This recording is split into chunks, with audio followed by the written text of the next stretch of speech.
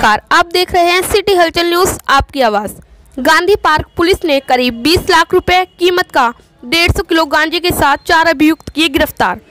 अलीगढ़ की थाना Gandhi park police के बड़ी सफलता हाथ लगी है। चेकिंग अभियान चलाने के दौरान करीब 150 किलो अवैध गांजे के साथ चार सप्लायर गिरफ़्तार किए।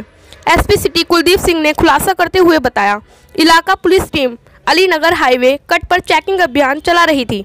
इसी दौरान एक ई रिक्शा जिसमें कुछ सामान लदा हुआ था, उसमें संदिग्ध मानते हुए उसे रोकने का प्रयास किया, जिसने तेज़ी से ही रिक्शा को दौड़ाना शुरू कर दिया। पुलिस के बताए अनुसार आगे जाकर ये रिक्शा को रोका तो उसमें भरे सामान की सच्चाई आई सामने। रिक्शा के अंदर 150 किलो गांजा अवैध भरा हुआ था। गांजे के साथ चार आरोपियों, सोनू, अजीत, अतुल और सागर को गिरफ़्तार किया गया। जिसके विरुद्ध सुसंगत धाराओं में कार्रवाई कर जेल भेज दिया गया।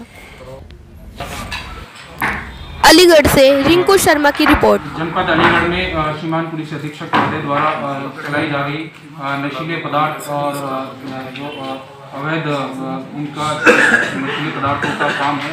इसके अभियान के तहत कल शाम को गांधीपाल पुलिस द्वारा बहुत ही सराहनीय कार्य करते हुए चार व्यक्तियों को गिरफ़्तार किया है, जो एक ई रिक्शा द्वारा अलीनगर कट पर डेढ़ सौ किलो, पाँच सौ ग्राम गांजा जो ले जा रहे थे। इनमें जिन लोगों की गिरफ्तारी हुई है, सोनू पुत्र कुंवरपाल, अजीत पुत्र राजू पुत्र राजेंद्र सिंह, अतुल भारद्वाज उर्फ़ बंटी शराबी पुत्र सूरजपाल शर्मा सागर गुप्ता, पुत्र किशन गुप्ता, इनके पास जो माल बरामद हुआ है, उसकी बाज़ार में कीमत लगभग 15 से 20 लाख रुपए है।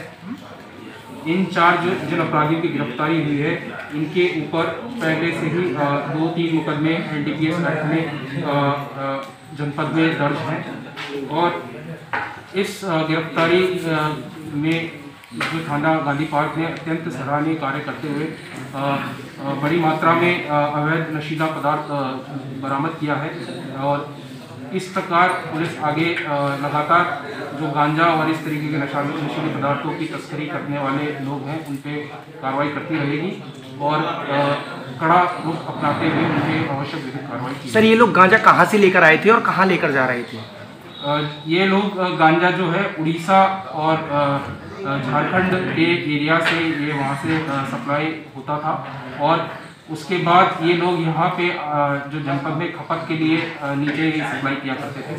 पूरा ये जो नेटवर्क है ये पुलिस की नज़र पे है और इसमें सभी लोगों की पूछताछ में जो भी निगमती नाम सामने आए उन पे अ, कार्रवाई की जाएगी और उनको सबको आवश्यक कार्रवाई की जाएगी। सर इतनी मात्रा में जो गांजा है ये किस किस साधन से लेके जा रहे थे इतना?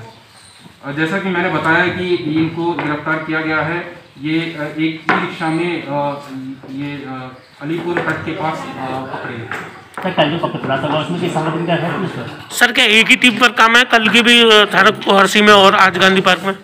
जैसा कि मैंने बताया कि इस पर लगातार काम जारी है और इस पे जैसे जैसे जो इनपुट मिलेंगे उसके आधार पर विभिन्न स्थानों पर इस पे कार्रवाई की जाएगी।